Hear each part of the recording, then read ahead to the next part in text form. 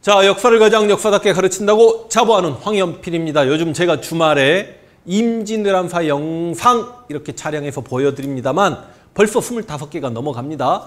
임진왜란사 영상 중에 구독자분들께서 가장 좋아하는 영상은 그리고 관심 갖는 인물은 누가 뭐라고 해도 이순신 장군 관련 영상이었던 것 같습니다. 우리가 어린 시절에 임진왜란 일본의 침략으로 조선이 위기에 빠졌을 때 풍전등하의 위기에 있는 조선을 구해낸 인물 보통 이렇게만 알고 있었습니다만 이순신 장군을 공부하고 들여다보면 들여다볼수록 정말 대단하신 분이고 훌륭한 분이다. 선배 역사가들이 왜 이순신 이순신 했는지 단지 신채호가 가장 존경했던 인물이 왜 이순신인지 알 수 있게 됩니다. 실제로 이제 여러분 대한민국에서 그 지식인으로서의 삶을 사시다가 좀 나이 지긋하게 드시고 자신의 본업에서 은퇴하신 분들이 남은 생애를 이순신 장구 연구에 몰두하신 분들이 상당히 많고 그분들이 또 많은 책들을 남겨 놓았기 때문에 저 같은 후학들이 이순신 장군을 쉽게 접할 수 있게 됨에 그분들에게 또 다시 감사의 마음을 드립니다. 그런데 이제 이순신 장군이 조선을 위기에서 구해내고 23전, 23전승의 외계인급 활약을 했던 데는 그만큼 이순신 장군을 믿고 따랐던 또 다른 많은 훌륭한 장수들이 있었기 때문에 그게 가능한 일이지 않았겠습니까? 그 이순신 장군의 휘하에 우리가 이름을 알지 못하는 그 많은 장군들 역시 당시 나라 조선을 위해 그리고 조선의 백성들을 위해 목숨 걸고 나라를 지키기 위해 싸우신 분들이니 우리가 그분들을 좀 이름을 기억하고 그분들을 알아야 되겠다. 그리고 그분들과 이순신 장군의 여러 얽힌 이야기들과 사연들에 대해서 이야기하면 재밌겠다 싶어서 제가 이순신의 사람들이라는 영상을 기획하게 되었고 당연히 오늘 첫 번째 시간에는 이순신 장군의 동반자이자 이순신 장군의 파트너이자 이순신 장군이 마음적으로 가장 의지했던 인물 인물일 것 같은 전라 우수영, 이역기 우수사 이야기를 한번 해볼 수 있도록 하겠습니다. 여러분 이역기 장군이 전라 좌수영의 좌수사인 이순신과 동급이죠. 전라 우수영의 대빵이니까.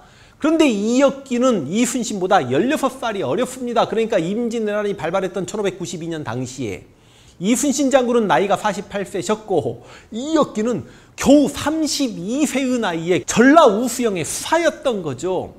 그러니까 이역기는 여러분 또 종친이에요. 그 조선의 이대왕 정종의 8대 손입니다.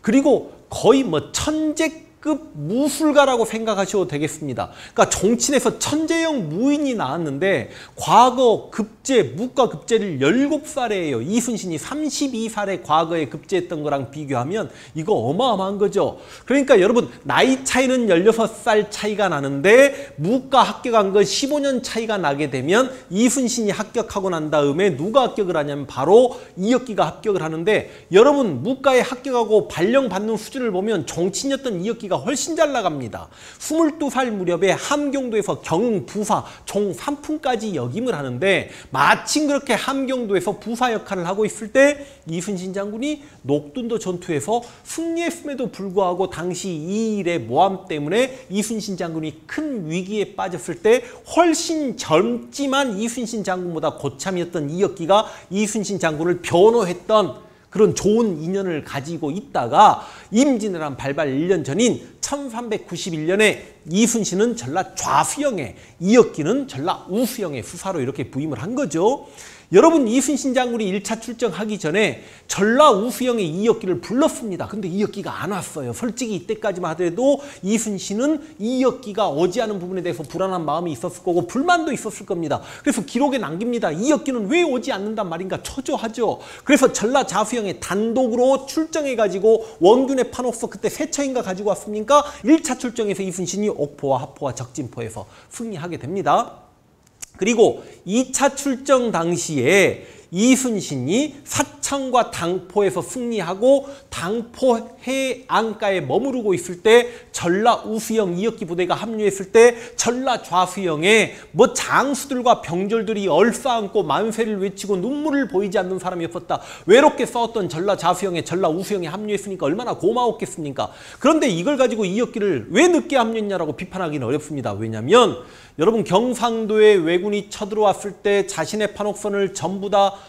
바다에 수장시켜버리고 세척 판옥선 끌고 도망쳐 다니면서 이순신에게 도움을 청했을 때 이순신 역시 경상도 바다로 나아가는 걸 주저합니다. 왜냐하면 전라 좌수영의 수하였던 이순신은 전라 좌수영의 오간 오포 바다를 지키면 되는 겁니다. 그런데 장계가 내려오죠. 이순신에게 원균과 합세하거라. 그렇지만 장계 마지막 부분에는 마지막 결정은 네가 하거라. 그러니까 이순신 장군이 원균과 합세하지 않았더라도 누가 이순신에게 탓을 할 수 없는 분위기인데 당시 녹도만호 정운이 이순신에게 와가지고 경상도는 우리 바다가 아니랍니까? 그 말 한마디에 이순신이 출동을 했던 거죠.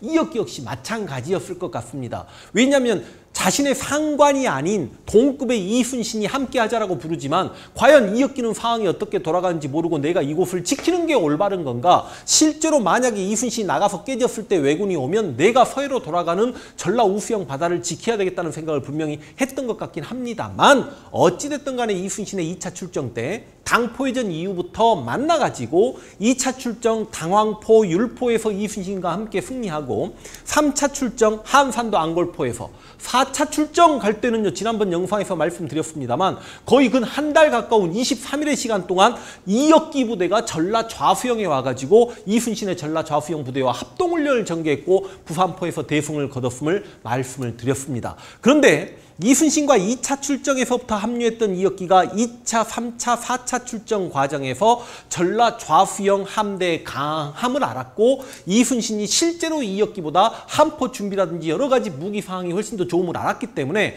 그리고 나이도 이순신이 훨씬 더 선배였기 때문에 이역기가 묵묵히 이순신 장군을 주장으로 받들고 모든 해전에서 이순신의 명을 따랐기 때문에 일사불란하게 우리가 일본에게 승리할 수 있었다라는 점에서는 또 이역기에게 우리가 고마워 해야 된다라는 생각을 해보게 됩니다. 나중에 이제 제가 차근차근 이야기를 해드리겠습니다만 이순신 장군이 삼도 수군 통제사로 이제 승진하게 되고 그리고 이래저래 가지고 원균의 모함을 받고 이순신 장군이 서울로 압송대에 올라갈 때 이역기가 당시 김명원이나 이양복에게 이순신 장군의 무고함을 알리는 편지를 쓰죠. 아니 그러니까 이역기가 이순신과 원균과 함께 생활하면서 이순신과 이 원균의 댐댐이에 대해서 이역기가 가장 잘 알고 있었을 테고 당시 남해 바다와 서해 바다를 지켜내기 위해서는 이순신이 필요한 존재라는 걸 이역기가 가장 잘 알고 있었던 것 같습니다. 그리고 끝내 이순신은 백의종군 당하고 삼도 수군 통제사가 원균이 되었고 그 원균 휘하에서 어쩔 수 없이 칠천량에서 전쟁하다가 솔직히 원균은 바다에 뛰어들어서 죽었다. 외적에 뭐 총에 맞아 죽었다. 칼에 맞아 죽었다. 기록이 없습니다. 원균은 도망가다 육지에서 죽은 걸로 기록이 있습니다만 이역기는 최선을 다해서 마지막까지 싸우다가 바다에 뛰어들어서 전사했다는 기록이 명확하게 나옵니다.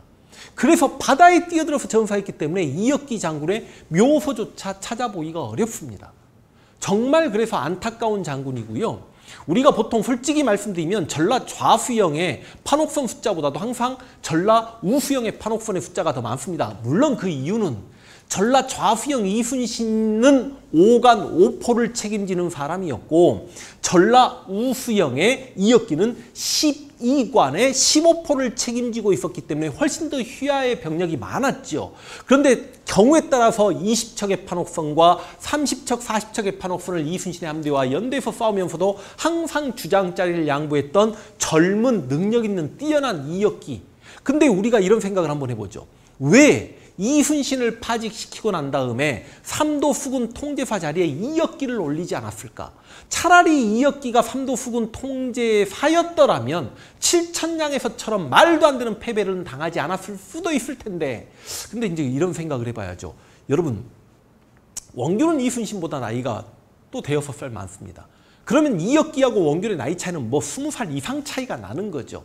그런데 이역기를 삼도수군 통제사로 올리고 원균을 희야에 둔다는 것도 조금 문제가 있지만 또 하나 바로 이역기가 정치인이었다는 점도 분명히 작용을 했던 것 같습니다.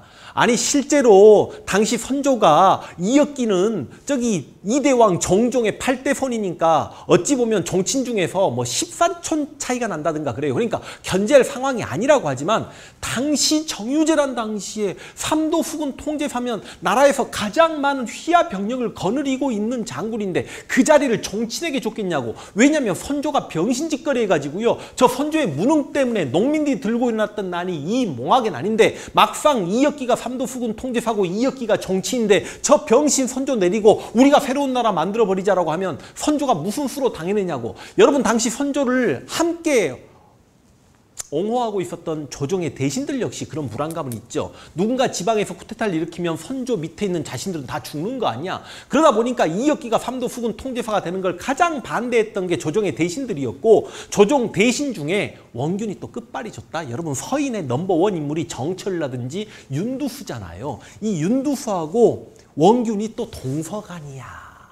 그러니까 실제로 이순신이 부산포를 훗날 공격하지 않는다, 가등청정을 잡지 않는다라고 해가지고 윤두수가 왕에게 상소를 올릴 때 내가 이순신이라면 내가 그 자리에 있었다면 내가 부산포를 점령할 수 있다라고 해가지고 이순신을 파직시킨 게 윤두수라니까요. 그리고 원균을 삼도수군 통제사 자리에 앉힌 게 바로 윤두수입니다. 그래서 이혁기는 삼도수군 통제사가 되기 어려웠고 지금 생각해 보면 이순신 장군 휘하 있는 장수들이 그 공으로 인해서 그만큼 다 승진을 했거든요. 그리고 실제로 이제 임진왜란이 끝나면 이순신 장군 휘하 있는 굉장히 많은 인물들이 뭐 예를 들어서 여기 뭐 좌수사, 우수사, 뭐 병마 절도사 이런 것들 다 한 번씩 역임을 합니다. 그런데 임진왜란 이혁기 장군이 칠전량에서 죽을 때까지 5년 내내 전라 우수사직을 역임하면서 큰 목소리 내지 않고 이 나라 바다를 지키기 위해 이순신과 함께 싸웠던 이혁기를 당연히 좋은 평가를 낼 수밖에 없고 우리가 기억해야 되지 않나 라는 생각을 하면서 이혁기 영상은 제가 알고 있는 게 여기까지입니다. 이렇게 마무리할 수 있도록 하겠습니다.